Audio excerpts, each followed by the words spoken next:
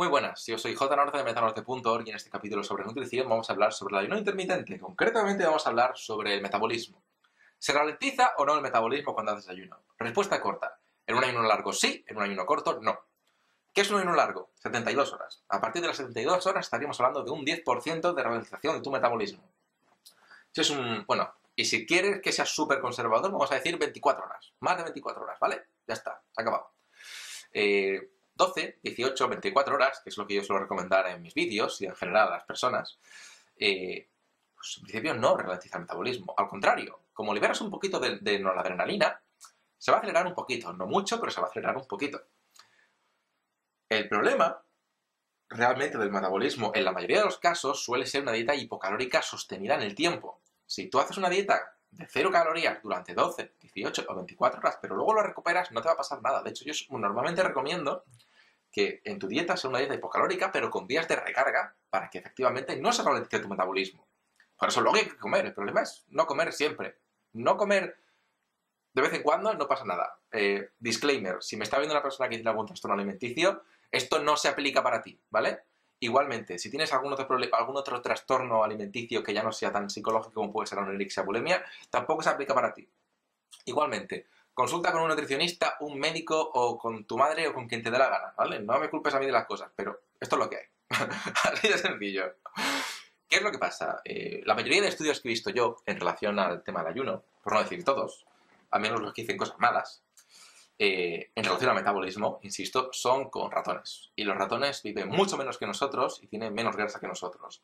Ergo, tienen menos reservas de energía y su ayuno, a proporción, es mucho más largo. Porque si un ratón vive, digamos, 3 años y tú vives 80, estamos hablando de que vives mínimo 20 veces más, aunque viviese 60 años. Y ellos suelen vivir 2-3 años, quiero decir.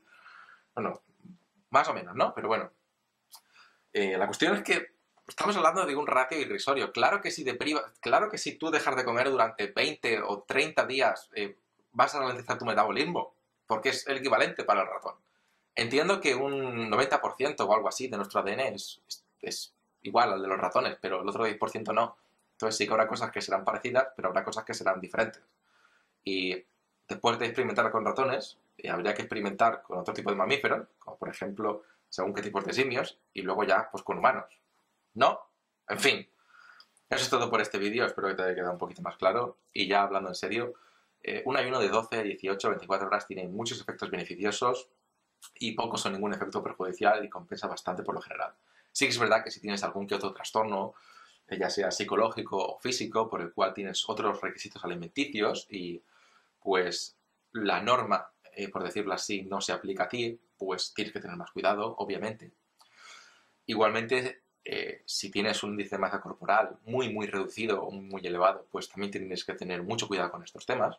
De hecho, si eres una persona que tiene un índice de, de masa corporal por debajo de 18, lo que te recomiendo es que comas y te dejes de tonterías. Y ya está. Eso es todo por este vídeo, hablando un poquito más en serio, y nos vemos en el próximo. Un saludo. Si te ha gustado el vídeo, dale a like y compártelo, así ayudarás a que más gente lo vea y yo siga creando mejor contenido. Suscríbete si por algún motivo extraño no lo habías hecho ya y aquí te dejo mis redes sociales y vídeos relacionados con el tema. Un saludo.